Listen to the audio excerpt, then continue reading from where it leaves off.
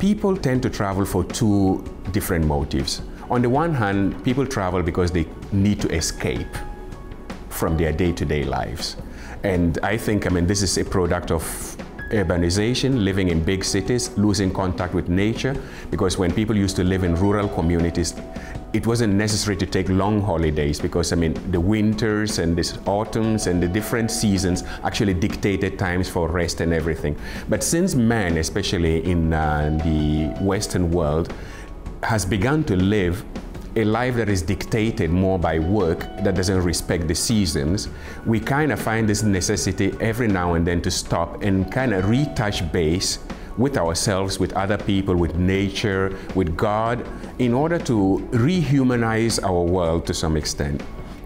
And I think in pilgrimage, the dimension of actually searching for some degree of an encounter, either through meeting people or going to places where there is a kind of density of God's presence.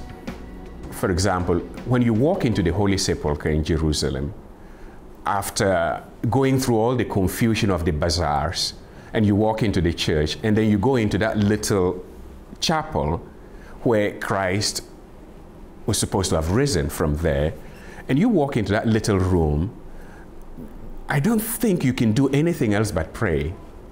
Because you just feel that here, in this particular spot, something happened that is so special that it's never been repeated in the history of humanity. People tend to think of pilgrimage more as an act of arriving at a shrine or at a holy place. But the pilgrimage is actually the journey.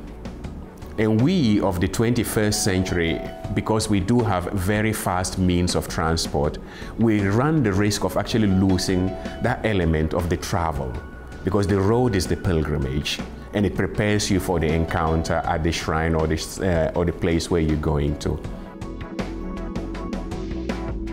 A pilgrimage is, is like putting order into your life. Going back to put real order into your life. Order in terms of your relationship with other persons, order in, in terms of your relationship with God, and even your relationship with yourself. And um, at the end of the day, if I'm not exaggerating, sin is disorder. And pilgrimage gives an, an, opportunity to recover that harmony that's been lost through everyday life. And that's why it's a deeply religious experience.